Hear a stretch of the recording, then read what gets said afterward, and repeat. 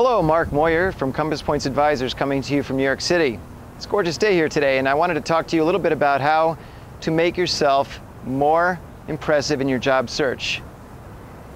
Now, most people are reactive in their job search. What that means is they will see a specific listing online, or they'll hear about a role, or a recruiter will call them with a role, and they'll jump at it. They'll say, Yes, I think I can do that. I'm interested.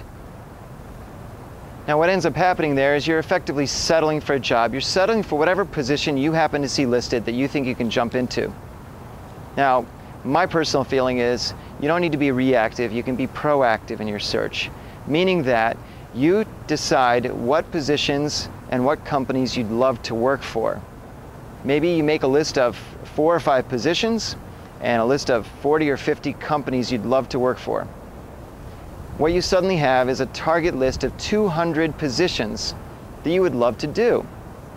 And now out of that 200, I guarantee you at any given time, at least five or 10 or maybe even more would consider you as a candidate to work in that particular position. So how do you go about doing this? Well, I can get into networking quite a bit.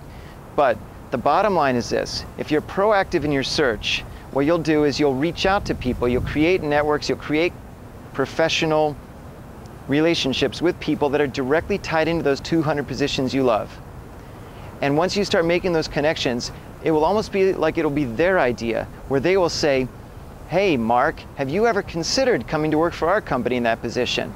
Instead of you being reactive and submitting your resume along with 200 other people for the same old job at the same old company that's been posting their listing for the last several months. Remember, be proactive, not reactive.